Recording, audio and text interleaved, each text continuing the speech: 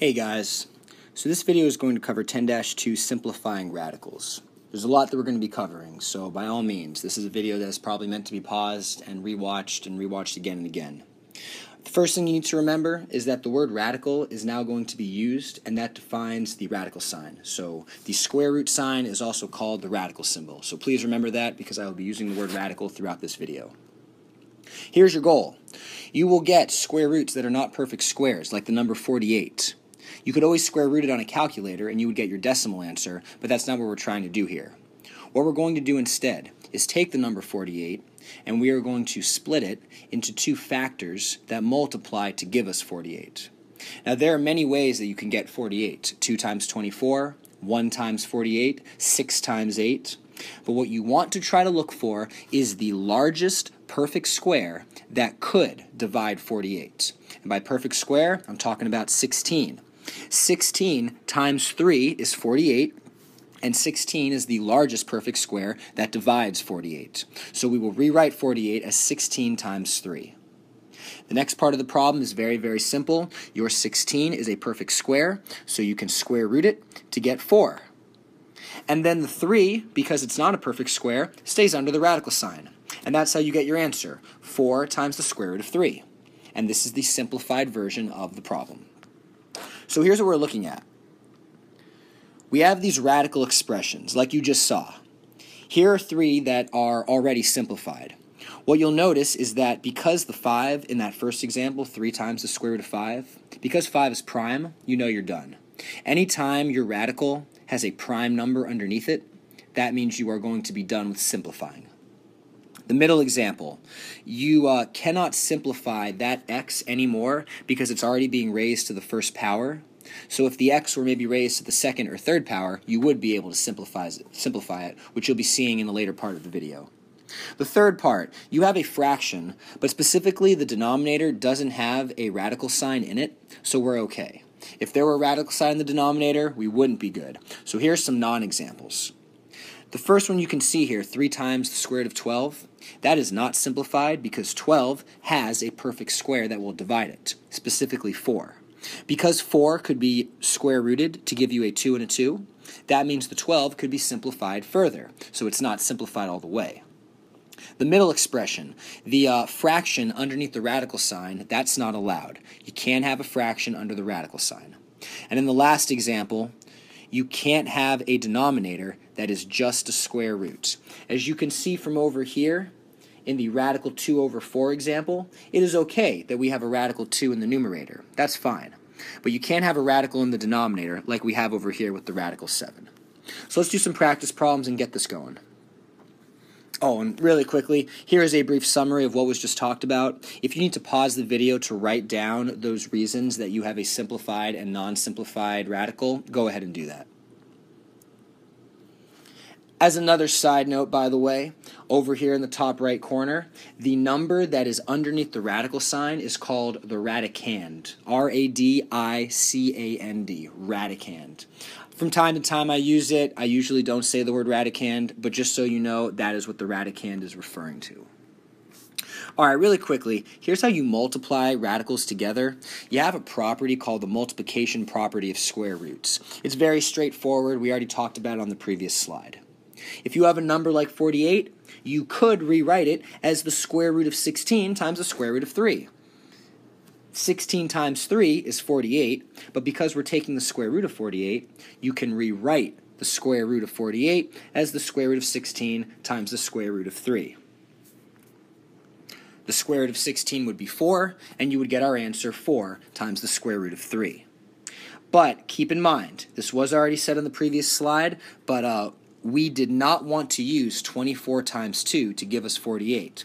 And that's because 24 and 2 are not perfect squares.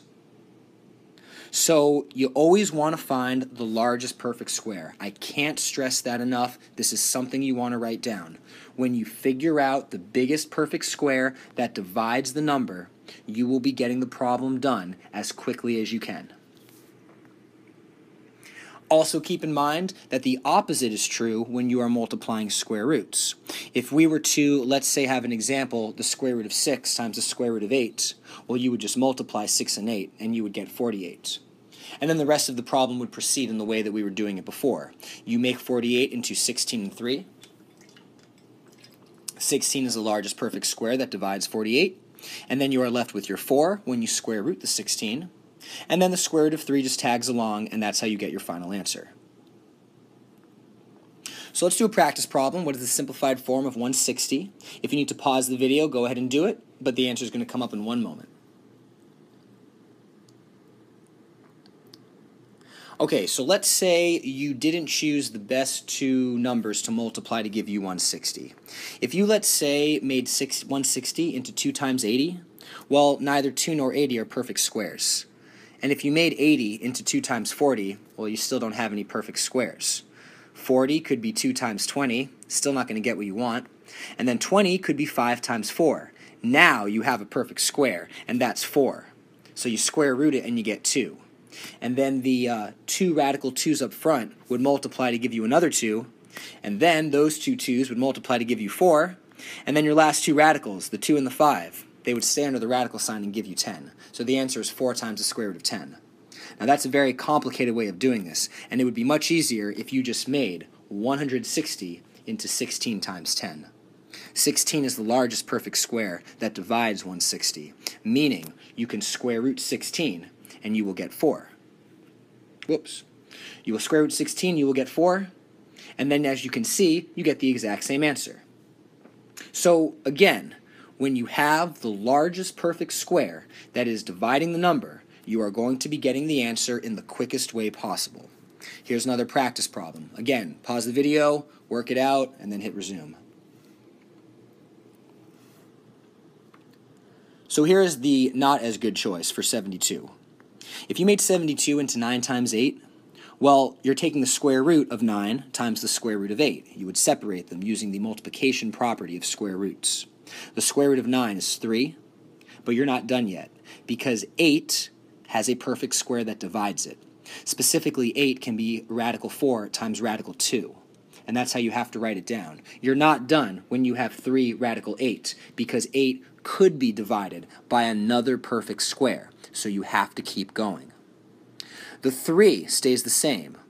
And something else to keep in mind whenever you have a number that is multiplying a radical, that will always involve a multiplication dot, but the dot might not be written there. So please keep that in mind. A number next to a radical sign, they are being multiplied together. In any case, we have a radical 4, and you would make the radical 4 become 2, and then your radical 2 at the end of the problem, well, that would just come down and be part of your final answer. 3 times 2 is 6, and the answer is 6 radical 2. This is the slightly longer way to do the problem because there is a better choice that you could make for what the uh, perfect square is that divides 72. Do you know what it is? If you picked 36 and 2, then you made a good decision. Because the square root of 36, well, that's just 6. And you're done very, very quickly. So keep that in mind. Again, for like the third or fourth time. When you find the largest perfect square that divides the number, you're going to get the answer as quickly as you can possibly get it. Now let's talk about variables, because you are going to get variables within these radicals. When you have an exponent, in general, your exponent is either going to be an even number or an odd number. So let's say you have an even exponent. Well, what you're basically getting is a perfect square. So look at this first example. We have x to the eighth power. That's a perfect square. You might not think it is because 8's not a perfect square, but you're taking x and you're raising it to the eighth power. That makes x to the eighth a perfect square. Because when you square root it, look at your answer you get x to the fourth power. The reason why you get x to the fourth power goes back to chapter 7 when you multiply two terms that have the same base. X to the fourth times x to the fourth equals x to the eighth. You add the two exponents because you are multiplying the variables together. So because x4 times x4 equals x8, the square root of x8 equals x to the fourth power. Likewise, if you were to have, let's say, x to the 60th power and square rooting it, well, you would basically just take the exponent and you would divide it by 2. And you would be left with x to the 30th power. But in any case, that is the basic rule for dealing with variables that have even exponents. Here's what happens when the exponent is odd. You're going to get a perfect square, but you're going to have to also multiply that perfect square by one copy of the variable. Here's the example. If you have y to the fifth power, 5 is an odd number. If you were to divide 5 by 2, like it says right here, you would get 2.5, and that's not what you want. Instead, you have to rewrite y to the fifth power as y to the fourth power times y to the first. Notice 4 plus 1 is 5. y has the same base, and you are multiplying. When you're multiplying two variables with the same base, you add the exponents. So that means you can rewrite y to the fifth as y to the fourth times y to the first. We're just putting radical signs over them because that's the nature of the problem. The reason why you're going to do this is very simple. Your y to the fourth can now be simplified. You're square rooting y to the fourth, so that means you're going to get y squared. The last part is very simple. The radical y1 cannot be square rooted, so it just tags along for the final answer. So you get y2 times the square root of y. One more quick instance of this. Let's just say you had x to the 11th power and you are square rooting it.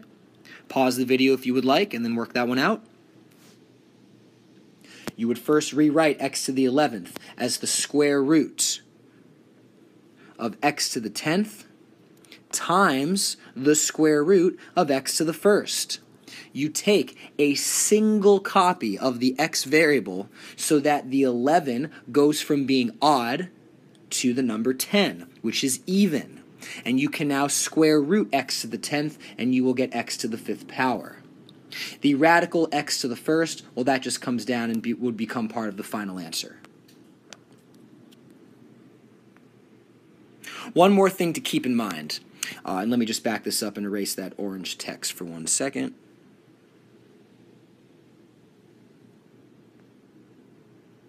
There we go. Something to keep in mind. The square root of y times the square root of y, well, that's just y.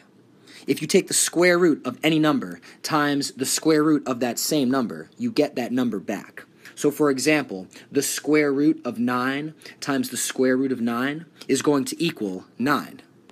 And that's because the square root of 9 is 3.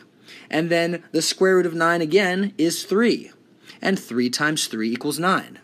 You're just not always going to have perfect squares in this example, which is why I'm using the number 9. In general, like the note says, anything that is being square rooted if you multiply it by the same thing being square rooted, you get that same number back.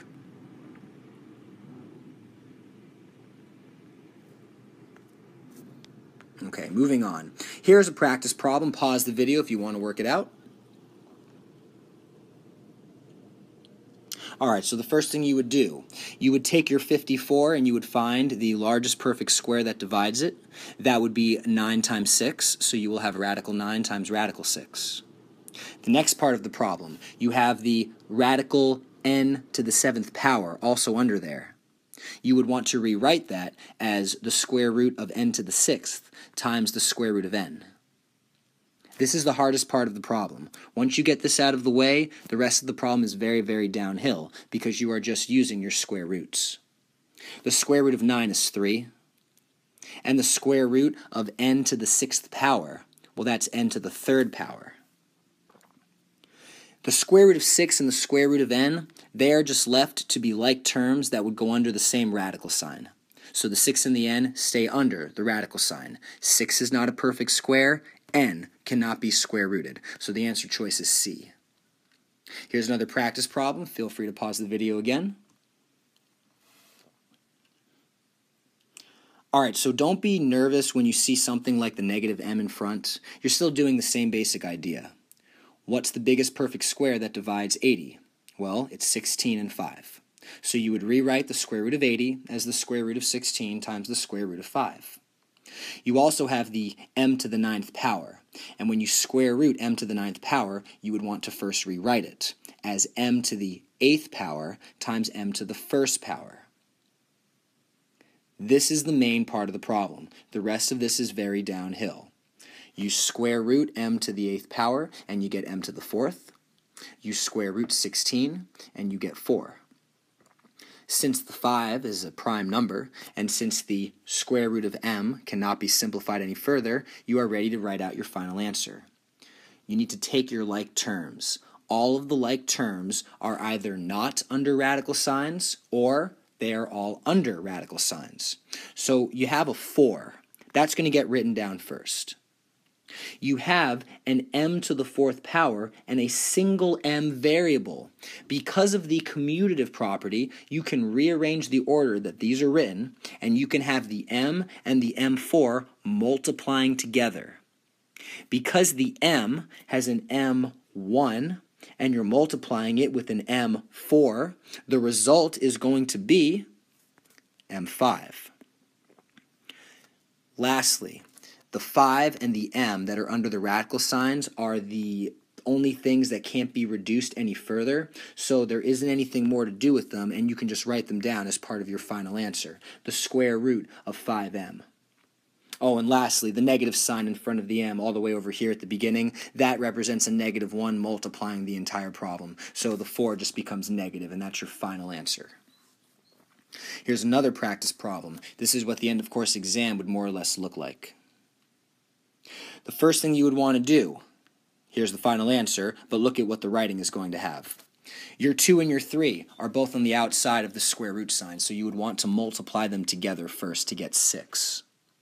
Next, because the 7t and the 14t squared are both under the radical sign, you can go ahead and multiply them together because they are like terms, and you can get 98 when you multiply 7 and 14, and you get t to the third power when you multiply t1 times t2. Now, what you have at this point in the problem is right here. 6 times the square root of 98 times t to the third power. This problem is now basically the same problem that we did as the second example, which is very much like the first example. All we're doing is simplifying, so that's what I really need you to understand. Once you learn the procedure of how to simplify, you're basically doing the same problem conceptually with the numbers being a little different.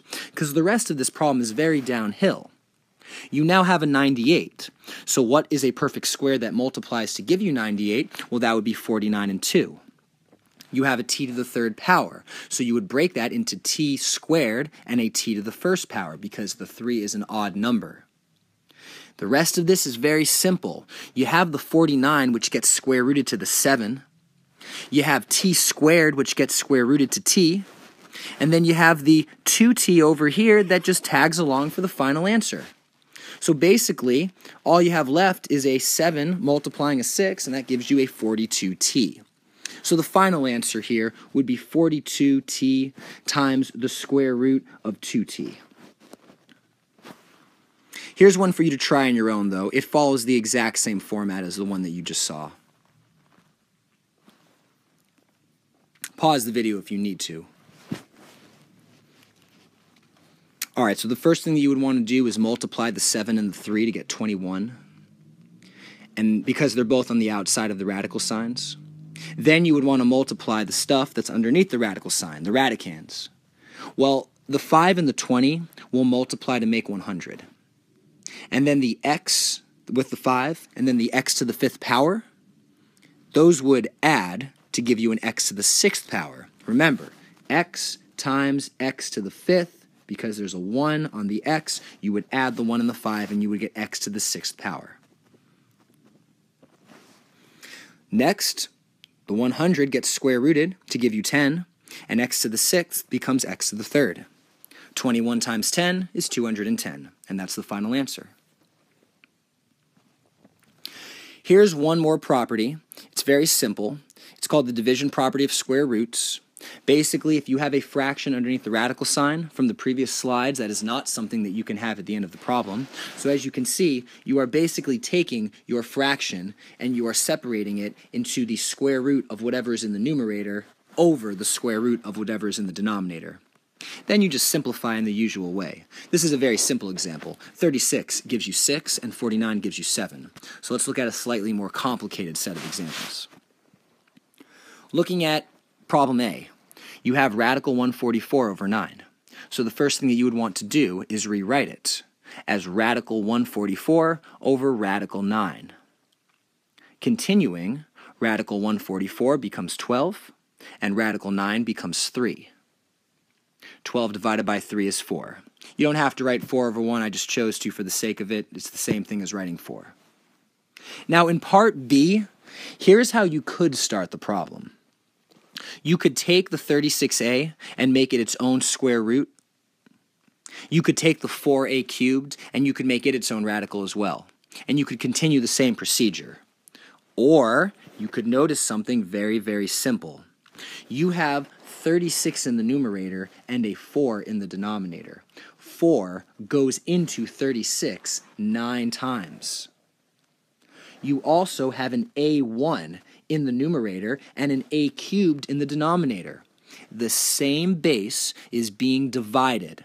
So remember, you can subtract the exponents on the variable a. Because a3 is in the denominator and 3 is larger than a1, you would have a 3 minus 1 giving you a 2 and a2 in the denominator. This entire fraction is being square rooted. And you can very easily see that the square root of 9 is 3, and the square root of a squared is just a. And that's the final answer, done in a very quick fashion, because again, you simplified your fraction first. Looking back at the purple writing, Here's the longer way that you would have to deal with this problem if you did not simplify. So I really want you to simplify because it's going to make everything go a lot faster. Uh, your 36 would become 6, and the a would stay under the radical sign.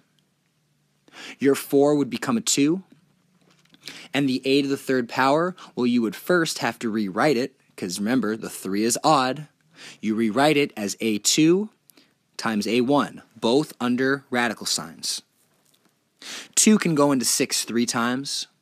And your radical a in the numerator and the radical a in the denominator, those would cancel out as well. So 2 would go into 6 three times. And then the radical a squared that is in the denominator, well, that's going to square root to give you a. And you have the exact same answer that we got up above. So again, I highly recommend if you have a fraction, simplify it before you do all of this work. You could very easily save yourself a lot of time.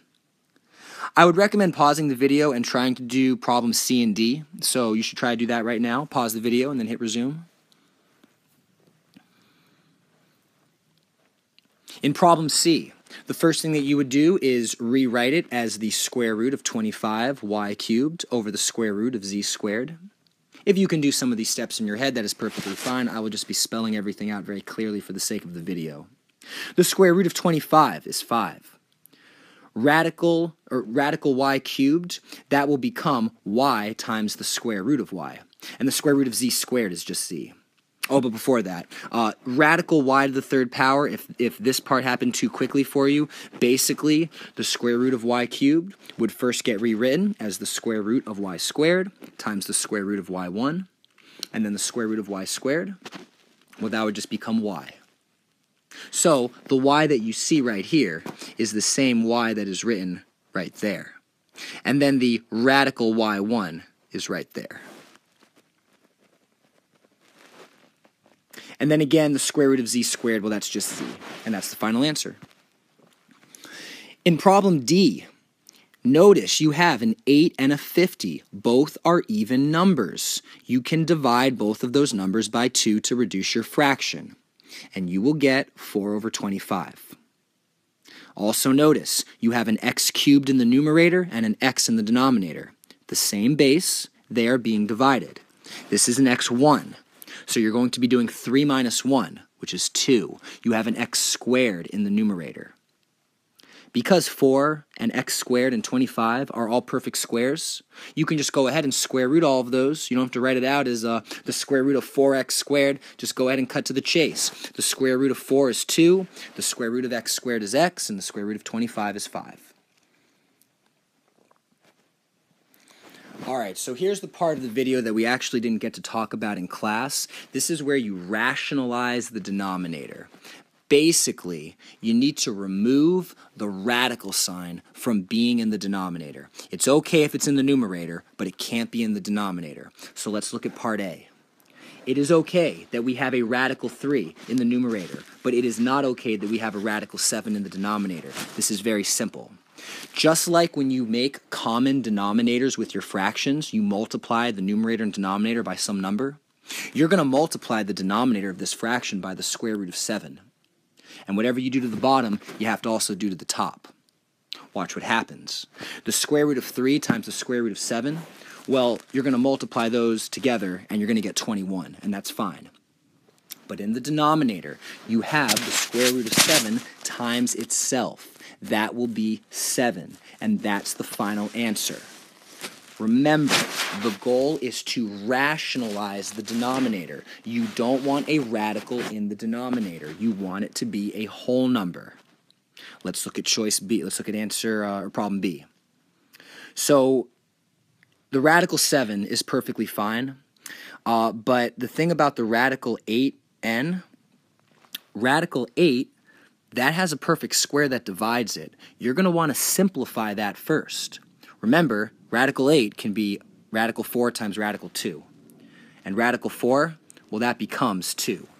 So this radical 4 became the 2 that you see right there. Listen carefully. The radical 2 that you see right here is right there under a radical sign. And then the n from right over here tags along and stays under the radical sign. And that's what you have once you simplify the denominator. We're not done yet. I'm just doing this because, again, the 8 has a perfect square that divides it. So you have to simplify the radical 8. Now we can rationalize the denominator because it says radical 2n. We are going to multiply both the denominator and the numerator by 2n. Well, in the numerator, 7 times 2 is 14, so you get the square root of 14n. And then your 2 tags along, but the square root of 2n times the square root of 2n, well, that's just 2n. So the radical 14n stays the same. 2 times 2 is 4, and that is your final answer. But here's what I'm going to do. Some of you might think, oh, well, why don't we just multiply the denominator by the square root of 8n and the numerator times the square root of 8n, right? Won't that work? Well, look at what happens. In the numerator, you get the square root of 56n. In the denominator, you get 8n. But here's the problem. 56 has a perfect square that can divide it. 56 can be rewritten as the square root of 4 times the square root of 14.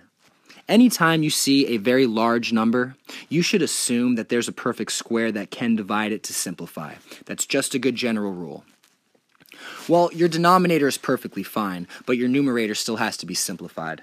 The radical 4, that would become 2, and then your 14 stays the same and your 8n stays the same. Well, we're almost to what our first answer looks like. You have a 2 in the numerator and an 8 in the denominator. 8 divided by 2 is 4.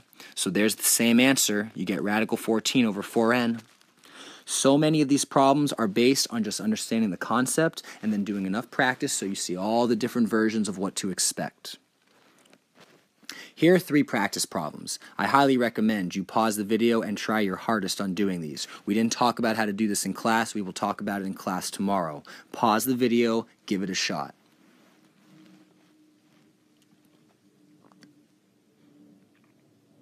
All right, so in part A, you have a radical 3 in the denominator. So you're going to multiply both the numerator and denominator by radical 3. Because, well, 2 times 3 is 6, but radical 3 times radical 3, it's 3. You're done, because 6 is not a perfect square. You can't do anything else to it. You're also done because, again, you cannot end the problem with a radical in the denominator. It has to be a whole number. In part B, the radical 5 stays the same, but you would want to simplify the 18 first. You need to realize that radical 18 could be radical 2 times radical 9. The m just tags along. Radical 9, well, that becomes 3. And then your 2 and m, they're both under radicals, so they're going to stay under the same radical. So this is how you would simplify the radical 18, so that you can now rationalize the denominator by multiplying by the square root of 2m. Remember, whatever happens to the bottom also happens to the top. The numerator, you get the square root of 10m. The 3 tags along. And then the radical 2m times itself, well, that's going to be 2 times m. Numerator stays the same. 3 times 2 is 6. The last example, I'm going to do that over here. You could first separate your fraction, radical 7s over radical 3. Next, multiply the numerator and denominator by radical 3 to make the denominator become 3. In the numerator, 7 times 3 is 21. The s tags along under the radical sign. Radical 3 times itself, that's 3, and that's the end. All right, guys, here's a bunch of practice problems for you to do. And uh, I'm just going to quickly fast forward through even more practice problems, pause the video as, as uh, need be. Um, all of these problems, most of these problems are going to get worked out, but I'm going to put that in another video. But I at least want you to be exposed to some more practice problems. So pause if you need to pause. I'm going to advance through the rest of this very quickly to get the video done. There's all the work, but I'm going to put all the work in a different video, so don't worry about that. If, I mean, if you want to look through it, cool. Pause. Um, otherwise, this is going to be in, in another video. Here are the solutions to the first 35 problems that you just looked at. Pause. Check your answers. Oh, whoops. There we go. Here are more practice problems. Oh, but they're all getting erased. Let me fix that. Let's see. There we go. Here are some more practice problems. Uh, pause the video again, work them out. I erase a bunch of these and I work some of them out, but I'm to again put that in another video. So I'm just to skip to that right now. Okay, cool. Uh, those problems are worked out. You can kind of see the work shown right there. And then on the next slide, we're to have the answers. And there are all the answers. And here's one more wave of practice problems. Oh, the answer's already worked out. Let me back that up so you can pause the video and actually do it correctly. There we go. And let's see. There we go. Okay, everything's worked out. Yeah, cool. And they're the solutions. All right. So I hope you practice these problems. Please come to class and ask questions. I know this is a lot. I know this is a long video, but the better prepared you are with this material, the easier Chapter 10 is going to go. Have a good day, guys, and I will see you tomorrow in class.